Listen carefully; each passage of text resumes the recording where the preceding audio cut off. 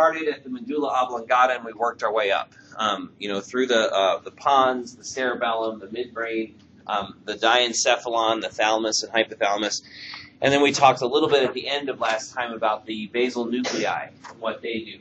Um, so now we get to the cerebral cortex, or the uh, uh, the outermost part of the brain, um, the, this the wrinkly part. Oh, I got to start the show. Hold on. Cool. And this is where some of the fanciest stuff that the brain does happens. Um, the the interconnections between the neurons that coat the surface of the brain are really what give us our intelligence. Um, because there are so many of those neurons and they're so uh, connected to one another, it allows us to do all the fancy things that we're able to do. Um, the, uh, the cerebral cortex um, has four lobes, so it has four named parts. There's a frontal lobe here in the front. Um, there's a parietal lobe kind of in the middle at the top. The occipital lobe is here in the back, and then the um, uh, or the temporal lobe, parietal lobe up here, temporal lobe here, um, on the sides. And different regions of the brain are responsible for different things.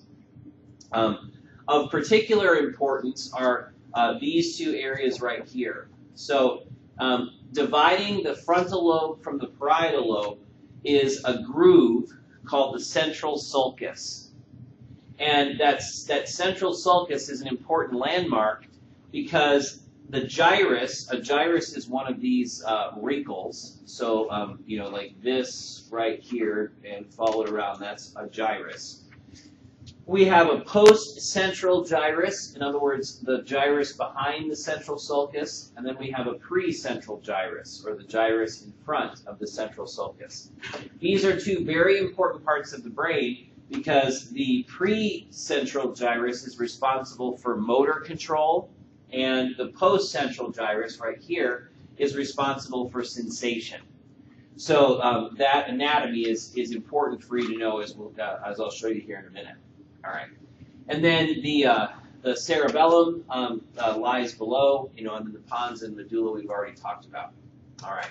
So the occipital uh, temporal um, and occipital parietal, it doesn't look like there's a division between them, right? There is, but you can only see it from the inside of the brain, not from the outside. So you just kind of have to know that the occipital lobe is here in the back, um, the temporal lobe, parietal lobe, even though there isn't a division like there is um, for the central sulcus. Dividing the frontal lobe from the temporal lobe is this groove right here, and that's the lateral sulcus. So that one's easy to see, that division but the uh, divisions between the parietal, temporal, and occipital are not as easy to see. Yeah. The two gyruses, are those part of any of the lobes? Are they part of the Yes. The precentral gyrus is part of the frontal lobe, and the postcentral gyrus is part of the parietal lobe. Good question. All right. so, um, uh, looking at where some of these, uh, or what some of these regions do, so the motor cortex, um, which is right here, that uh, precentral gyrus, these are where the neurons exist that control our muscles, that initiate actions. You know, so kind of an important place in the brain. If you were to have massive damage in this area, you'd have paralysis. You wouldn't be able to move your muscles because the nerves that do that have, are gone. Um, next to that uh, motor cortex is what we call an association area. Now, what, what uh, the neurons in this region, they combine and integrate information from different parts of the brain.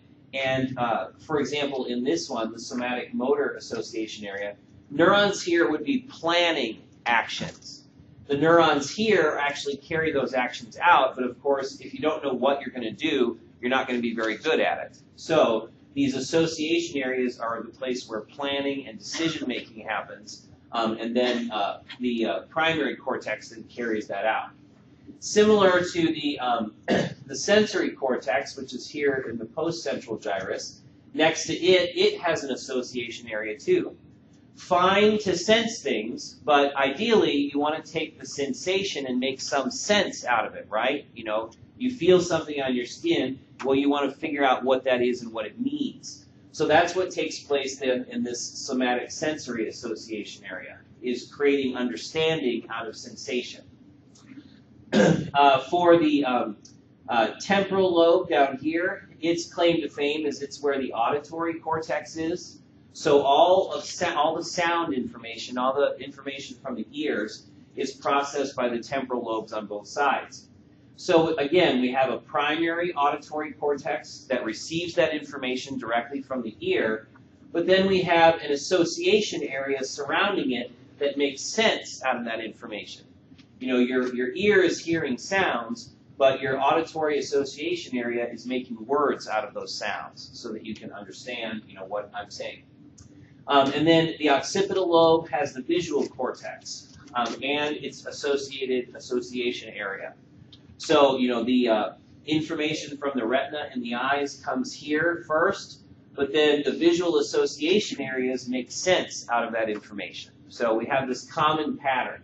You know, motor control in the frontal lobe, uh, parietal uh, or uh, sen- uh, sensory touch sensation in the uh, parietal lobe and uh, making sense of it. Auditory is associated with the temporal lobe, and then vision is associated with the occipital lobe. All right. All right. So if association areas make sense out of things, integration areas make uh, sense out of that sense or make decisions or planning or judgment, higher order thinking. Um, so we have a large integration area um, in the uh, front of the frontal lobe called the prefrontal cortex. And um, at least in modern understanding, we believe that this area of the brain is responsible for the highest order thinking that we do. You know, things like critical analysis, things like, um, you know, uh, planning for future events. Um, these very complex cognitive tasks usually take place in the frontal lobe. So um, the prefrontal cortex is what makes us, you know, smart, so to speak. Um, we have a couple of other integration areas. Broca's area, which is right here, sits kind of between the temporal lobe. Remember, the temporal lobe is responsible for um, auditory processing, and the frontal lobe responsible for motor. And it's the speech center. So it controls how we make sounds to have meaning associated with those sounds. So um, uh, an old mnemonic is damage to Broca's area causes broken speech um, because it's the speech creation center. So if you have a stroke that affects this area, you may be able to understand words just fine, but you will struggle with putting them together properly and, uh, and creating the sounds. So that's Broca's area. Um, there's a, uh, a similar area called Wernicke's area. It's right here between the temporal and parietal lobes.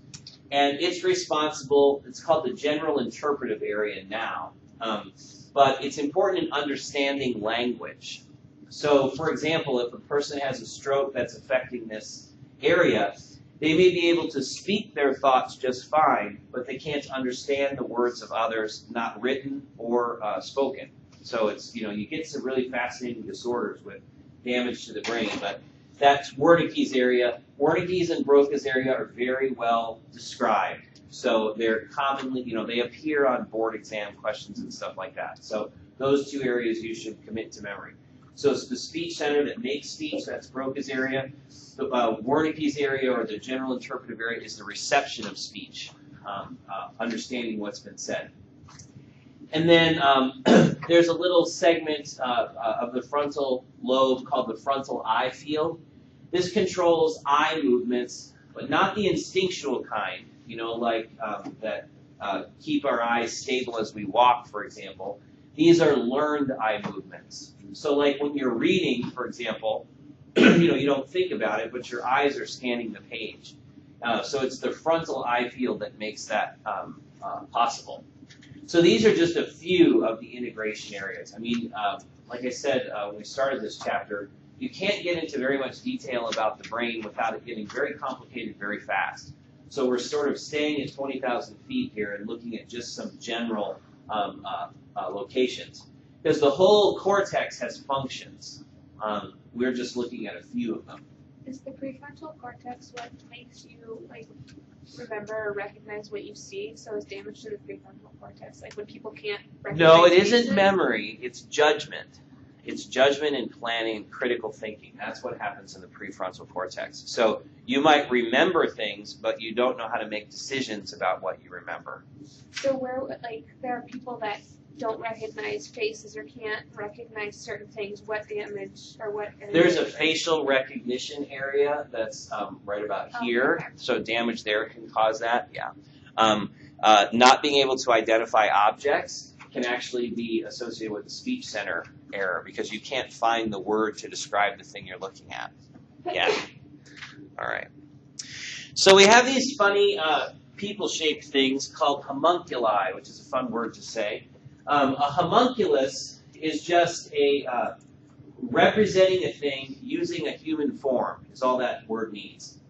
So you know we have our uh, our sensory um, cortex and our motor cortex, and if we start at the center here and we work our way out, what we'll see is that there's a consistent pattern of, of mapping. In other words, on everybody, the, the area of the cortex that's responsible for the thumb, let's say, is in approximately the same place on everyone. So um, you can see that you know uh, we start you know from the intra-abdominal organs, and then we come all the way around, and we end at the genitalia. So this funny picture, what it's trying to show you is how much space is set aside for these various body regions. So, for example, the back. Um, where's the back? I guess that's not really here. Um, well, here we'll look at the hand.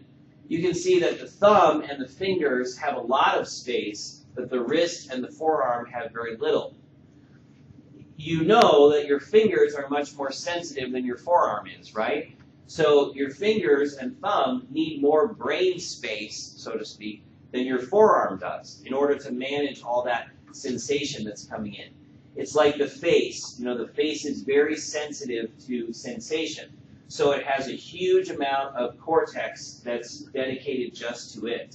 Um, same with, uh, you know, the tongue has a good long spot. So this is the sensory homunculus here.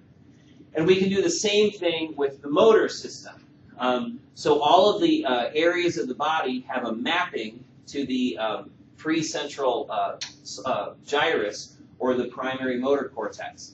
And here again, the size of the representation is the amount of space, so to speak, that the brain has taken up um, uh, to control the muscles in that area. So, like, uh, you know, here is, you know, here's your hip and leg, right? So not very much space. Your hand has more brain space than your whole leg does. Why? Because the hands have a lot of fine control, right? There's all those muscles in the forearm that are driving everybody nuts trying to learn in lab. And they can all move independently. So the brain has to have a lot of space for the hand because it can do so many things. So these are the, the sensory and motor homunculus. All right. Not really any testable information here. This is more of a, a visual representation of how the cortex is organized um, in both for uh, sensation and then for motor control. All right. So the uh, the left and the right sides of the brain are not the same. You know, you might think that they're just copies of each other, but they're not. Um, the uh, there are a great many functions that are lateralized. In other words, they take place on one side of the brain or the other, but not both. Um, so some examples, that speech center, Broca's area, like we talked about, it's only on the left side. There isn't a, there isn't a right-sided speech center in most people. Um, writing and uh, is on uh, the left side as well, but analyzing things by touch is on the right side. So a person um, uh, may not be able to recognize something by touch, but they'll still be able to write, and it depends on which side of the brain was damaged. You know, so a, a stroke here may leave a person unable to write, even though they can recognize objects by touch. So we have lateralization. Um, uh, the left side of the brain has that general interpretive center or Wernicke's area, um, which is not just responsible for understanding language, but also things like mathematics, logic, calculation, those kinds of things. Again, we don't have anything similar on the other side. Instead, we have an area of the right side of the brain that specializes in spatial relationships. You know, so if I were to tell you to imagine a, a cube in, in your mind and, and then now make it spin, that's this right side of the brain, spatial visualization and analysis. All right. And then uh, the way the brain handles the eyes is a little counterintuitive. You know, you might think that the left eye uh, information would go to the right side of the brain, and the right eye information would go to the left, right? Because we all learned in health class that everything crosses on its way to the brain, right? But that isn't how it works. Instead, information from both eyes goes to both visual cortexes. And the way it's divided is by visual field. So, what's a visual field? If you think about what you're seeing right now, and you were to divide that in half, the left side of that would be your left visual field, the right side of that, your right visual field.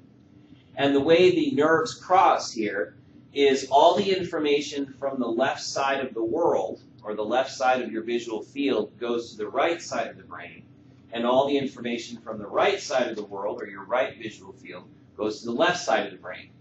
So um, a very common way to represent this is with colors. So, you know, left is in red and right is in blue and you can see that the red information crosses, it kind of half crosses right here, but all the red ends up here and all the blue ends up here. So its visual field uh, uh, is how it's divided. And there again, you can get some very interesting disorders with the brain.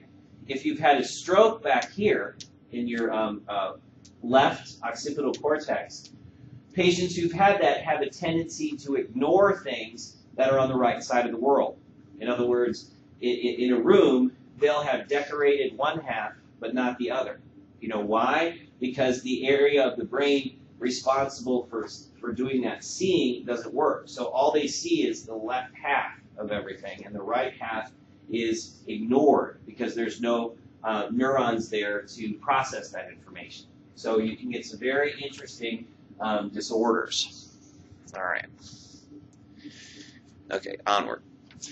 So these areas of the brain are not isolated. One of the things that makes our brain so complex is that there are connections. Everything's connected together. So even though we have this Broca's area that's responsible for speech, it doesn't work in isolation. It works in connection with all the other different areas of the brain. so we have a number of fibers. Um, these are axons that are traveling from one part of the brain to another. And there are so many of them that it almost creates a kind of skeleton inside the brain because these axons are usually myelinated, um, so they are, are white in appearance instead of gray like the cortex is. So we have association fibers that connect the different areas, and then we have the arcuate fibers that connect adjacent areas. So essentially, everything in the brain is connected. And then the left and right sides are also connected.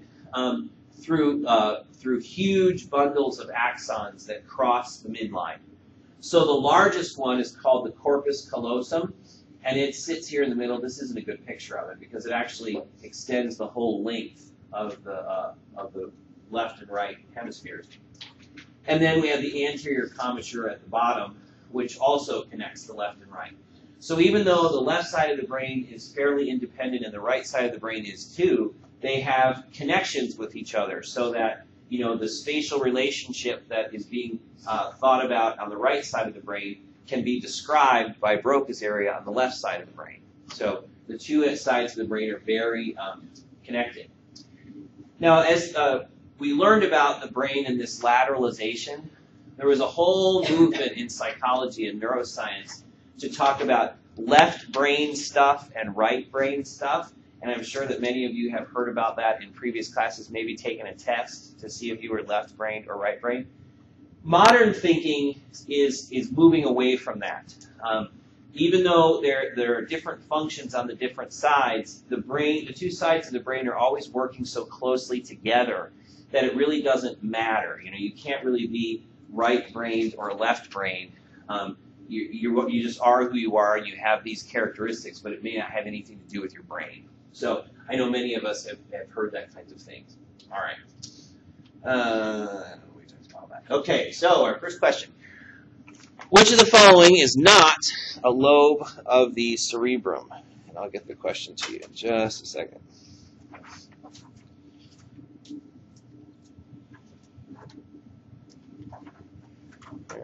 There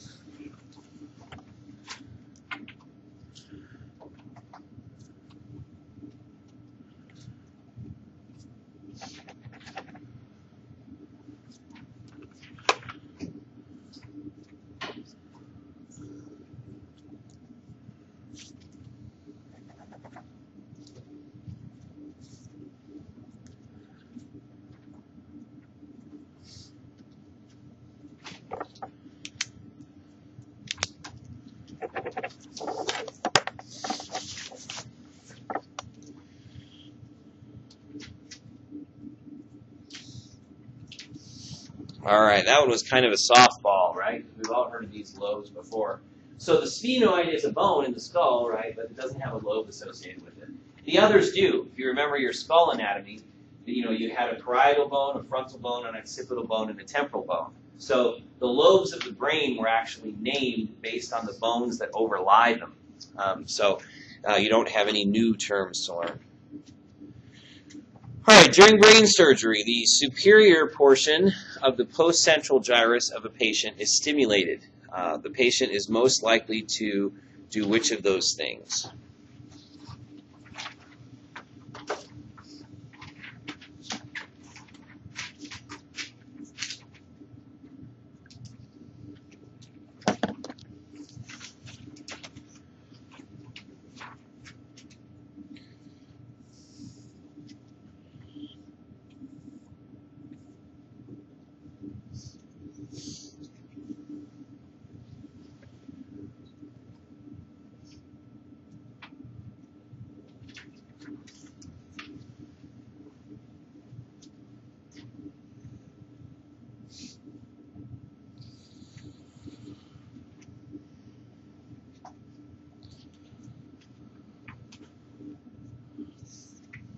All right, this one must have been a little tougher. So jump in there. Okay, so the real key to answering this question is to know what the postcentral gyrus is. So the postcentral gyrus is that first uh, gyrus of the parietal lobe. It's the primary sensory cortex. Sensory cortex. So flexing your fingers, that's not sensation, that's motor, right? That's motor motion. Talking to the surgeon, same thing, that's motion. Smile, that's also motion. Now you might think that it's sensation, but to smile you have to move muscles in your face, right? So that is also motor. Um, and then E, moving your hand, also motor. So which of those is the is sensory? Well, it's D, feel pressure on his toes. And it also turns out that the, the leg and feet are at the top part of this gyrus. So the postcentral gyrus is all sensation, particularly touch sensation. And then the precentral gyrus is um, all motor control. So everything that skeletal muscles do. All right. So that's sort of the brain. You know, we we uh, gave or we went through a tour last time, and we talked about the cerebrum today. That's where we leave it. You know, could we jump in and spend the next six weeks, you know, studying just the brain and all it does? Of course we could, but we're not going to do that. So we're going to take a step back then, and we're going to move to the next topic in this chapter, which is the cranial nerves. All right. This is one of these classic. You you just have to learn it. You just have to memorize it because you'll get asked about it. Now, you know, is this knowledge particularly clinically useful out there in the real world? Maybe if you're a neurosurgeon or you work in, uh, with uh, closed head injury patients, but for most normal healthcare workers, this doesn't come up after training. However, it comes up on exams. So you do have to learn these. Uh, there are 12 of them, um, and we're going to go through each one. So, what is a cranial nerve in the first place? It, a cranial nerve is a nerve that comes directly out of the brain. You know, we started with the spinal cord, and most of the nerves of the body are spinal nerves. In other words, they came out of the spinal cord. Cranial nerves come directly out of the brain, um, or go directly into the brain, depending on how you look at it. And we, we number them with um, Roman numerals, and we number them according to where they come out. All right, so if you think of the top of the cerebrum as the highest possible point, as we move down through the brain, you know, from uh, cerebrum to uh, diencephalon to midbrain and so on, we're getting lower and lower in the system, right? So we, we label these or we number these according to which comes out highest. So uh, number one, which isn't on, on the picture, comes out, that's the, uh, uh, I'll show you a picture in a minute, but it's for the um, nose, the olfactory bulb. It comes out way up just to, just below the cerebrum.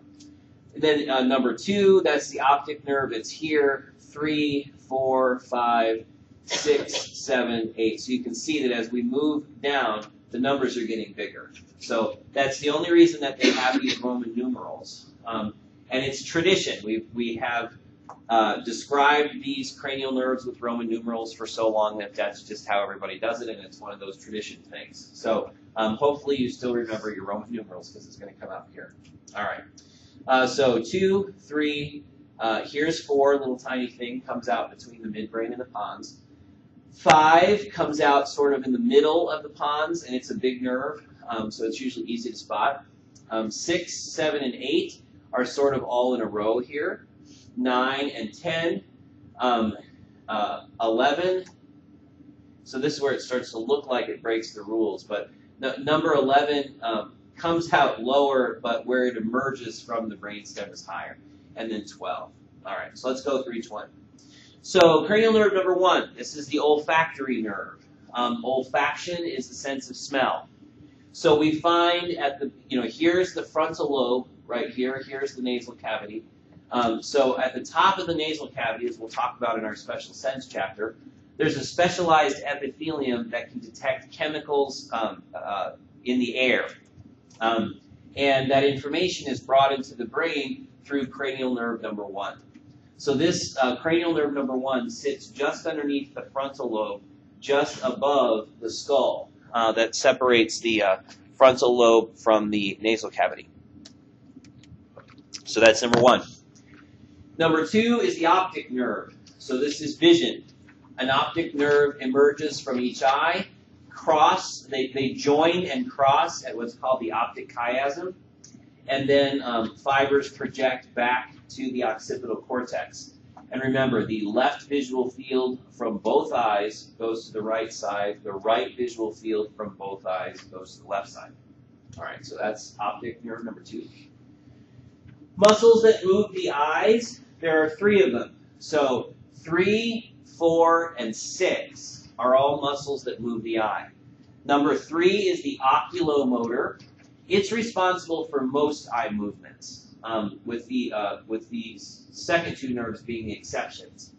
Um, so the oculomotor nerve also controls pupil size, so whether it's constricted or open. Um, and then the uh, uh, cranial nerve 4 is the trochlear nerve, and it controls the muscle that's called the superior oblique muscle. And the superior oblique is a muscle that rotates the eye um, uh, to the left or to the right. Um, cranial nerve number six is the abducens, um, and it controls the lateral rectus muscle. So um, uh, when the eye looks away from the nose, that's abduction, right? To take away from the midline. So we call this the abducens nerve because it controls eye abduction by controlling the lateral rectus muscle that pulls the eye in that direction. So eye muscles, there are three of them, or the oculomotor, trochlear, uh, and then abducens. All right. Now we get to a big boy, the trigeminal cranial nerve number five. It is responsible for um, uh, all sensory information from the face, so from the front half of the head, all comes through the trigeminal nerve. So it's a very large nerve. We call it trigeminous or trigeminal because it has three huge branches that look very much the same. You know, Gemini is twins, so this is trigemini, three twins. Because um, we have a superior, a middle, and then an inferior branch. But you don't need to know this anatomy. Okay, as we're going through here, you don't need to know any of these anatomy pictures. I want you to know trigeminal, you know, oculomotor. Okay. Um, all right, so sensory information from the face, and then its other big important thing is it controls the muscles of mastication. So your chewing muscles, the temporalis, the masseter, the pterygoid muscles, all of those are controlled with uh, cranial nerve number five. All right, so that's number five. Number seven, because remember, number six was abducens, right? We saw that in the oculo or in the muscles of the eye. All right, so we're going to skip that one because we already talked about it. Number seven, facial nerve, controls the muscles of the face. So we have a difference here. The sensation from the face comes in through the trigeminal, but the motor control of the face goes out through the facial nerve. So remember to keep those two separate. So facial nerve is number seven. Um, it has five branches, but we're not going to get into all that. All right. Number eight is the vestibulocochlear nerve. This is the ear nerve. If you don't want to say that big long word in your head, um, so it's going to carry information from the vestibular system, which is our sense of balance, and from the cochlea, which is the organ of hearing. So this is balance and hearing, hearing and equilibrium, number eight. Okay. Number nine is glossopharyngeal. Glossus is tongue. Pharyngeal has to do with the pharynx. So this nerve provides sensory and motor control to the um, to the pharynx and to the muscles that are used in swallowing. So the glossopharyngeal nerve number nine. All right. Nerve number 10 is the vagus nerve. It's the cranial nerve that probably has the, the longest, it's the longest of the cranial nerves um, because it essentially innervates the whole inside of the body. So um, from the uh, brain, the vagus nerve goes all the way down and innervates all the major organs. So the lungs, the heart, the intestines, the liver, all the way down to the rectum is the vagus nerve. And it is it carries parasympathetic information to the organs. So we're going to talk again about the vagus nerve when we get to the autonomic nervous system. But for now, it's vagus uh, nerve number 10, and it's parasympathetic um, uh, information to the viscera. All right, we're almost done. Number 11 is the accessory nerve. now, this is a nerve that controls muscles, skeletal muscles. The sternocleidomastoid, if you want to write that out, SCM is sternocleidomastoid. It's this muscle right here that rotates the head. When you look at people, you can usually see it because it makes a kind of triangle at the neck. Um, so it controls that muscle as well as the trapezius muscle. Um, so essentially, it's motor control of the head. You know, our heads can move in all different directions. Most of that is from the accessory nerve, cranial nerve number 11. All right. And then hypoglossal. Um, hypo is below, glossus is tongue. So this is motor control of the tongue, is by the hypoglossal nerve. So those are the 12. Now, you will find if you if you Google mnemonics for cranial nerves, you'll find hundreds of mnemonics. Some of them are downright nasty, dirty, bad. So I did find a, uh, a, a, colorful, or a clean one anyway. So it's, oh, once one takes the anatomy final, very good vacations are heavenly. So how do these mnemonics work? They're giving you the first letter of each of the 12 in order. So olfactory, that's number one. Optic, that's number two. Oculomotor, that's number three. Trochlear is number four. Trigeminal is five.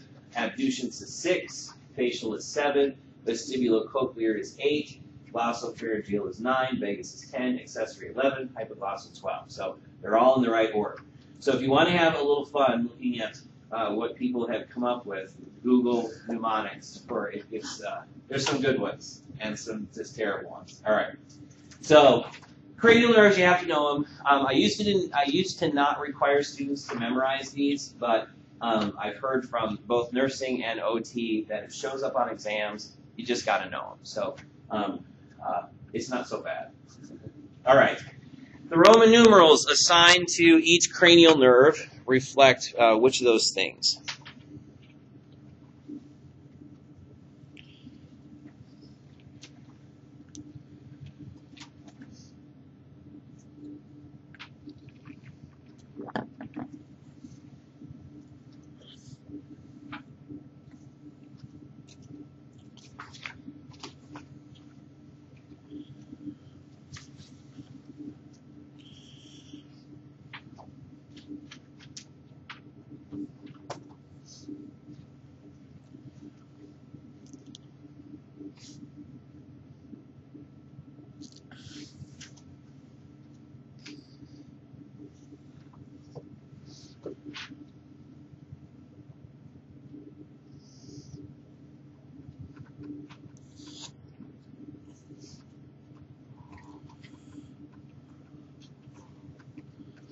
All right, jump in there, last few people.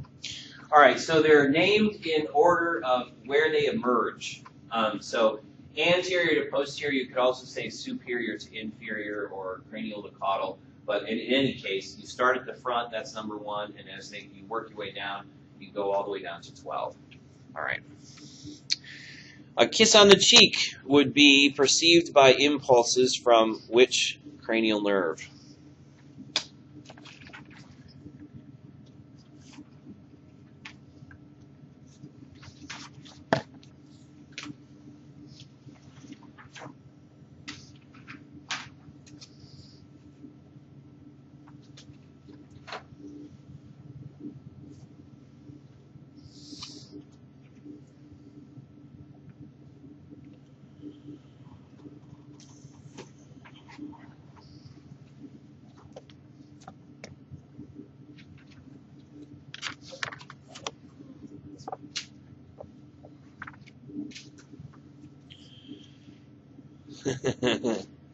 it's split between two, like almost even. So I got a few people. All right, so kiss, that's sensation, right? Sensation from the front half of the head, i.e., the face, comes in through the trigeminal nerve, not the facial nerve. So, you know, flip of the coin. Um, a uh, trochlear nerve and abducens nerve, those are both eye muscle nerves. Vestibulocochlear nerve is the ear nerve, so hearing and equilibrium. But um, the facial nerve provides motor control to the face, but sensation comes in through the trigeminal nerve. All right. All right, and we are going to start some of this because there's more here than you can see. All right, so from the anatomy to a bit about how this whole system works. All right, so we classify the different receptors um, that bring information into the nervous system um, by in multiple ways. Um, so one is essentially by what they detect. So we have some vocabulary here. A nociceptor is a pain receptor. We have these all over our body, um, and you would think, you know, why on earth did, did pain receptors ever, you know, evolve? Well, they are a good system for signaling injury and preventing injury. You know, so we have pain receptors to identify um, stimuli that may cause damage to the body. You know, so why does a hot thing feel hot and it hurts? Because that's a signal that if you were to hold that object for too long, you'd have a burn, right? So by having pain receptors, it allows us to appropriately respond to potentially dangerous things out in the environment. So those are nociceptors. Thermoreceptors detect temperature. Interestingly, we have heat detectors and cold detectors. And we actually have more cold detectors than heat detectors. So um, instead of a thermostat that gives a number, we have cooler than body temperature senses and warmer than body temperature senses. So it's sort of interesting like that. Uh, chemoreceptors respond to chemicals. Now, we have these, we don't have these in the skin, obviously, but we have them in other places in the body. So, for example, in the aorta and the carotid arteries, there's uh, chemoreceptors that detect oxygen level and pH. So, uh, chemoreceptors change in response to chemicals. And then mechanoreceptors change in response to mechanical forces. So, all of our sense of touch are these guys, mechanoreceptors you know, when, when you push on the skin, it alters the plasma membrane of certain kinds of uh, skin receptors, and that changes what signal that receptor will send. So a mechanoreceptor. All right. There are some others. Uh, proprioceptors give information on the position of things. So the position of the joints in particular. Um, and that the muscle spindle that we talked about uh, in our reflex chapter is also an, an, example of a proprioceptor. It tells the brain how long a muscle is. Baroreceptors detect pressure changes, so you can imagine that in order to control our blood pressure, we need some kind of built-in blood pressure monitor, right? Well, we have those. Again, they're found in the carotid and the aorta, and they're baroreceptors. And then tactile receptors um, um, are really just one kind of mechanoreceptor, so they respond to uh, physical forces. All right. so adaptation. Um, it turns out that these receptor cells they don't behave in the same way all the time, um, and this sort of makes sense.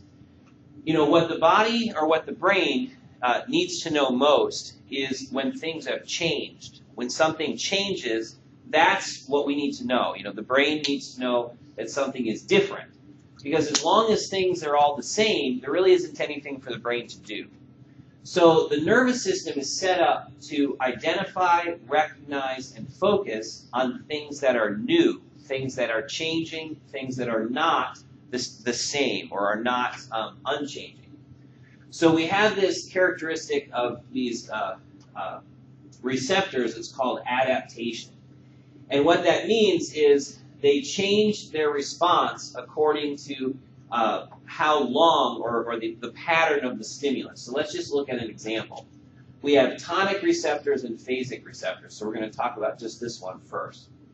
All right, so this is baseline. Nothing's happening when it says normal here. So when nothing's happening, the nerve is just ticking away. In other words, it's sending an action potential periodically just to kind of tell the nervous system that it's there, right?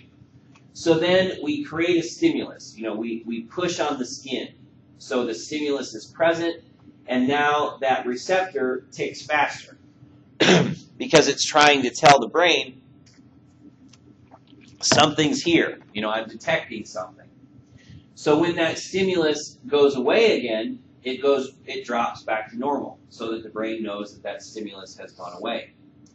So in these tonic receptors, they respond to stimuli the same way all the time.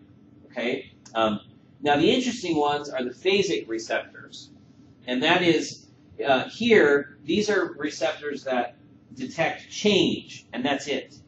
So same situation, normal, nothing's happening. So uh, we create a stimulus, you know, we, we turn on a, uh, a sound, let's say. Well, in a phasic receptor, it hasn't been doing anything. It's been sitting there quiet. When it detects that something has changed, it sends a signal, but then it stops. It doesn't keep sending the signal like a tonic receptor does. Instead, it says basically something has changed. And then when that uh, stimulus stops, it sends another signal, something changed again. So we have, you know, in some ways, the tonic receptors are giving more information. You know, they're telling the, the brain that something is here. The phasic receptors are just telling the brain that something has changed. Um, so uh, uh, the, the, two ways that um, uh, receptors can adapt. So we have a lot of receptors that are like this. So for example, you know, when you put your shoes on in the morning, you know, you, you feel your shoes at first, right? But eventually, you know, by the time you're walking out the house, you've forgotten about your shoes. You're not really sensing the shoes on your feet anymore. And it, in part, it's because some of the receptors there are not sending any signals because nothing has changed. When you put your shoes on, something had changed. But very quickly, they adapt. In other words, they stop sending signals about something that isn't changing. Because all the brain is really interested in is what's new or different, because that's what it needs to respond to. All right, so adaptation. We have uh, uh, two different kinds of patterns there. And so technically an adaptation is a reduction in sensitivity when the stimulus is constant. Okay. Um, and central versus peripheral. So if the if the change is occurring because of the receptor, that's a peripheral adaptation. In other words, that receptor is not sending a signal to the brain, so how can the brain get any information from that, right?